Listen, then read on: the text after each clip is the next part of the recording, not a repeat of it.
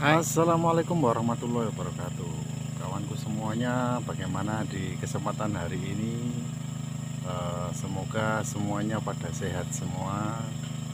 Dan di hari minggu ini saya mau melihat Sebuah kawan saya yang ngebor di Universitas Borneo Oke, sekalian kita mau kasih informasi cara mengebor manual ya kawan.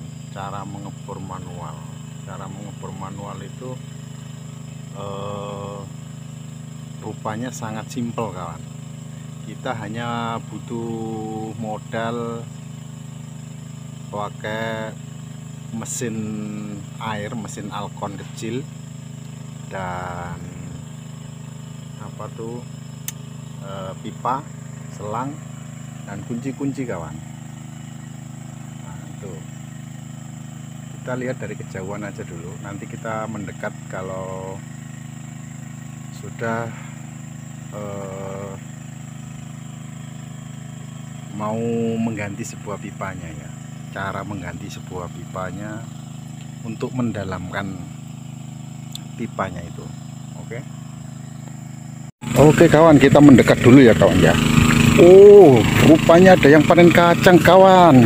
Oh kacang panjang ini rupanya ini. Bilangnya mau disayur itu. Oh turanya ya.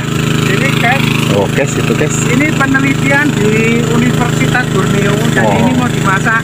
Mau dimasak. Campurkan dengan terong. Jadi nanti bagaimana hasilnya? Nah mungkin lain waktu uh, mau masak dia mau masak kacang panjang dan terong ya. Bagaimana bagaimana cara memasak kacang panjang ini kayaknya nih? Nah, ya. ini sudah mulai entek nah, sudah mulai entek kata. Oke oke untuk sekarang kita lanjut ke pokok permasalahannya ya kawan.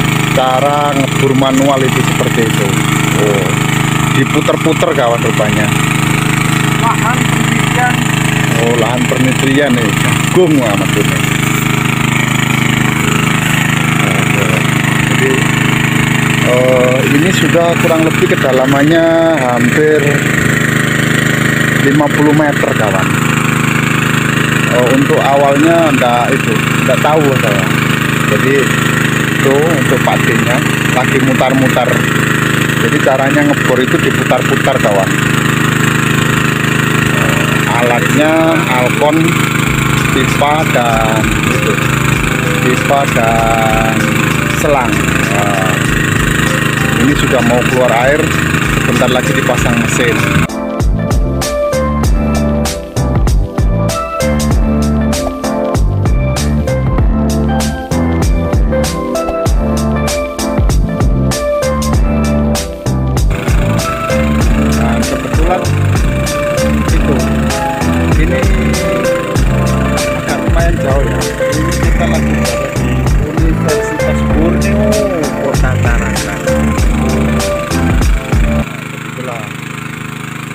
jadi pertama-tama itu airnya harus ada kawan ya. Kalau ngebor manual itu harus ada.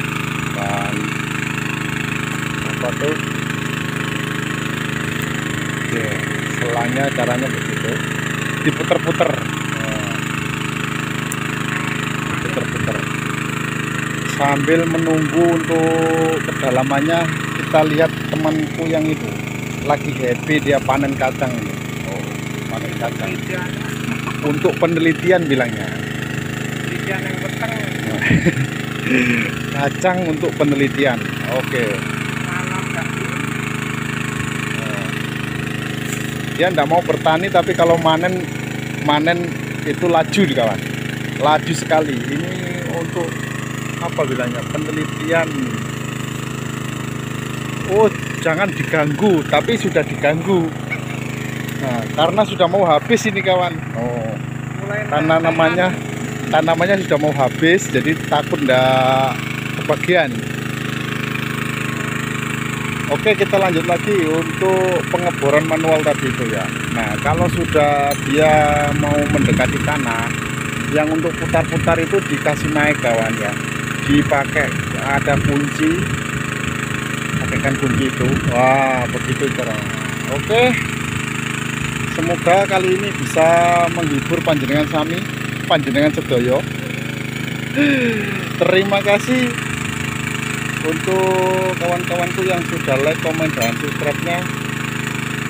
Semoga anda selalu diberi kesehatan murah rezeki dimurahkan rezekinya.